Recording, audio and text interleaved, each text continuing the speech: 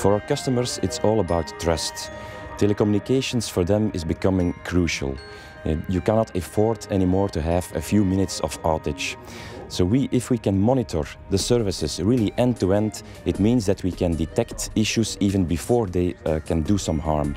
It's also trust when they visit us here in this network operations center that we can help them and that we can ensure this service availability.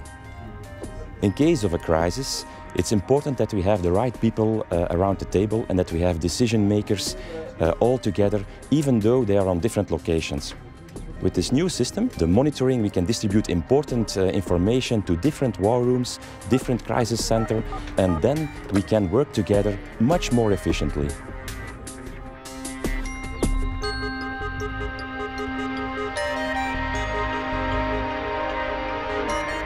The two main advantages are uh, the easy switching of the content and the layout. So within seconds we can uh, set up a new screen wall uh, secondly is the sharing of the content. Uh, so we can share the information uh, sources, not only here on this center, but we can do it all over the country uh, where other collaborators are uh, looking at the same content.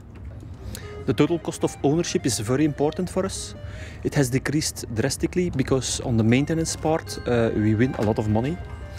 Beside the financial part, also the ecological part is very important for us.